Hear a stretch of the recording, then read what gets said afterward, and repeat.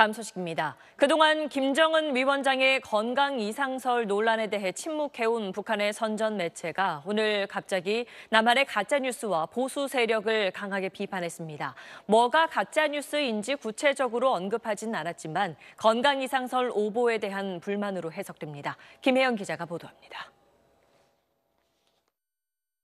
북한 대남 선전 매체 메아리의 오늘자 기사입니다.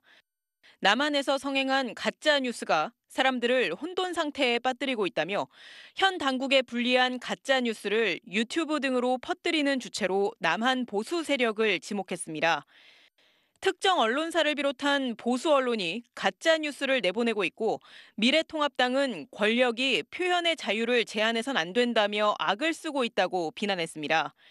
가짜 뉴스의 정의, 또 SNS의 발달로 전파 속도가 빨라졌다는 우려까지 담으면서도 정작 가짜 뉴스의 구체적인 내용은 언급하지 않았습니다. 최근 논란이 됐던 김정은 위원장 건강 이상설 보도가 오보로 판명된 만큼 이에 대한 강한 불만으로 해석됩니다.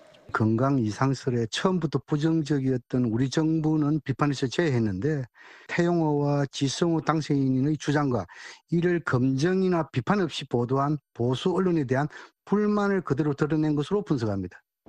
앞서 지난 주말 북한 당국 것으로 추정되는 유튜브 계정엔 최근 대동강 수산물 시장을 이용하는 평양 시민들 영상이 게시됐는데 북한 사회가 안정적으로 유지되고 있음을 강조하려는 의도로 보입니다. SBS 김혜영입니다.